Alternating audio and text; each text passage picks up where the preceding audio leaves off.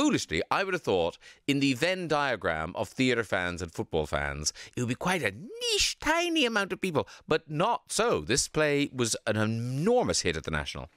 It's true. It was it was a massive hit, and right across all age groups and demographics, which was hugely exciting and important. I started out at 18 um, washing underpants for actors as a dresser. So it was lovely to come back there at the National all those years later and be in front of an audience that represented the nation. Um, as a national theatre should do. And that was the most exciting thing because when I was there all those years ago, it didn't quite represent, the audience yeah. didn't quite represent the nation as it should do as a national theatre. And this production really has. Um, and it's been hugely exciting, and um, so much so we're, we're, going off to the West End, which is wonderful. So tell me this, Joseph. I know nothing about football. Uh, wh- where's the drama? How how is this a play? What what bit what what part of the story are we in in this in this production? Well, kicks off in 2016 when Gareth Southgate took over as caretaker manager. He'd been with the under um, 21s and he was uh, asked to sort of man the ship, as it were, while they looked for another manager. But then they qualified for Russia and he was invited to become full time manager. But it really looks at Gareth, who is famous for missing his penalty in 96.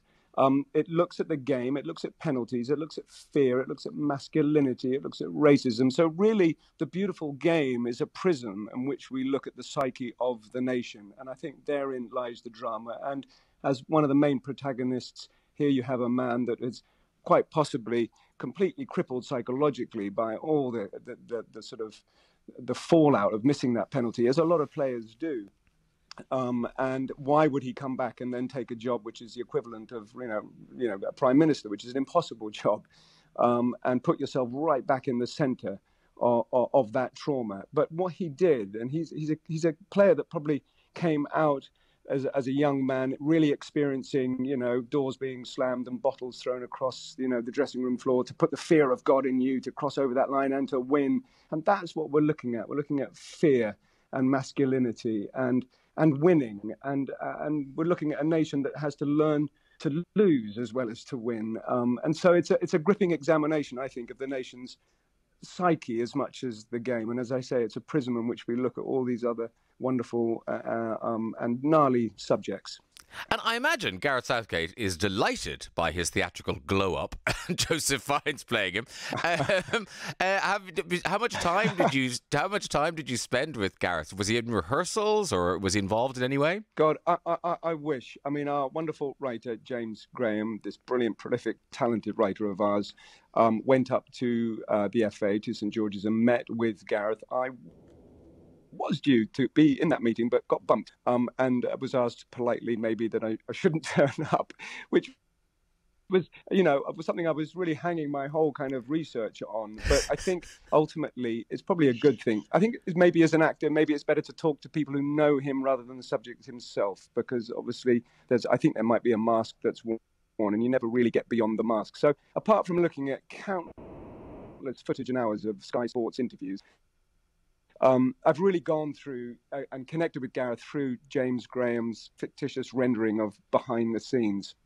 And there is that sense of getting to the truth through fantasy. And and sometimes if you're too wedded to the character you can't think beyond it. And the, the, the there's a beautiful it's almost caricature that uh, and carnivalesque the play. It's loud it's it's funny it moves at a great pace. So it's not hung up too much on the sort of the methodology of the character and more at the subjects that surround that world. And I know when Frost Nixon was in the West End, David Frost went to see it. I mean, endlessly. he loved it. Um, oh, really? How many times has Gareth Southgate been to see Dear England?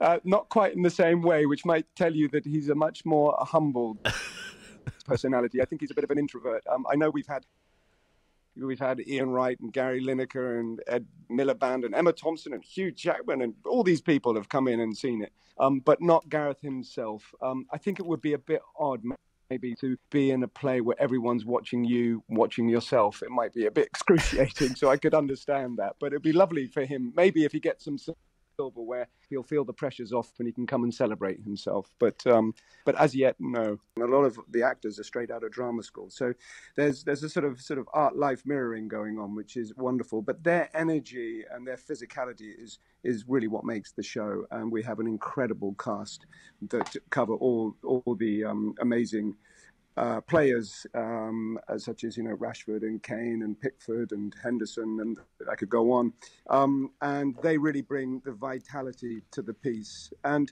it's an interesting thing, but you know some of them, uh, and I'm thinking about those who missed the penalty in um, in the Euros, and there was this awful, awful backlash against um, three players, and it prompted Gareth to write a letter um, and to reach out to the nation. And the letter was addressed "Dear England," and hence that's where Graham, James Graham gets the title from. And it is really reaching out and just reminding people that these are very young players and who adore football. And and uh, as such, it was a turning point where the players then got onto social media. And I think of Marcus Rashford and the, the, the wonderful mural and his work, his social work. So we have a real generation, a young generation of footballers who are so socially, a, a lot of them really sort of on point. Um, uh, and, and a lot of that virtue came from Gareth allowing that team to reach out socially, to use those platforms to connect with the audience and to sort of abate the, the, the, the terrible backlash that, that this country has when it comes to a loss. Um, and what was interesting is that in the, the last World Cup, uh, there was a missed penalty by Kane, and there wasn't riots and effigies burning and awful abuse online. It was quiet. So what the, this might point to, and of course it can change, and the monster's always there, but it might point to this very quiet reformation that has taken place since 2016. Gareth is at the forefront of that, along with Pippa Grange, and she's a psychologist. They brought in a psychologist the first time. It was very late in the day because other sports or had psychologists for a long time. But bringing in and really kind of connecting with the players in in, in a way which was highly unusual um, in Gareth's time. And I, I, do believe there's been this incredible transition. And that, that's that's at the heart of the drama, and, and the, the transition amongst those young players is, is is quite a feat. And you know, England come close a lot, but they're still still kind of yet to get the big one. Uh, how does the does the play leave a crowd kind of you know is it a crowd pleaser or does everyone kind of limp out of the theater going oh that's a shame they didn't win? Well, they, they don't. In fact, there's a joyous sense, um, dare I say, a sort of weird patriotic, um, in in the good sense, let's say. Yeah. Um, uh, uh, uh, of looking at ourselves and celebrating ourselves beyond winning and beyond football, really about coming together. And I think the great, beautiful game brings people together. And if we can be brought together in the right way and conduct ourselves, win or loss, in the right way, then that's a wonderful thing. And I think that's what the play reminds us to have fun, to enjoy ourselves, but conduct ourselves well.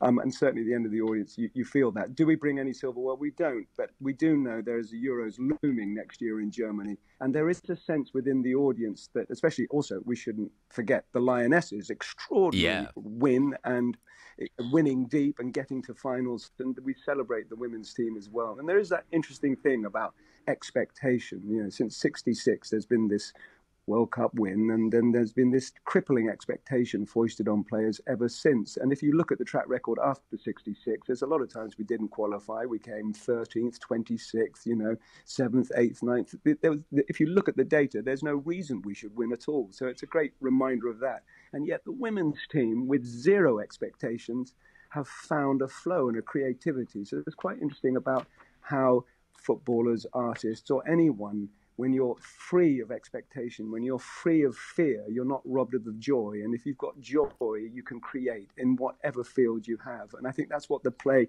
kind of aims at. So there's no big celebration at a win. We know that, but there is that sense of finding joy beyond the winning. I love that you are channeling Football Manager. You're, that's such a kind of dressing room pep talk. Um, I know. I've got my waistcoat on. I can only do it with the waistcoat.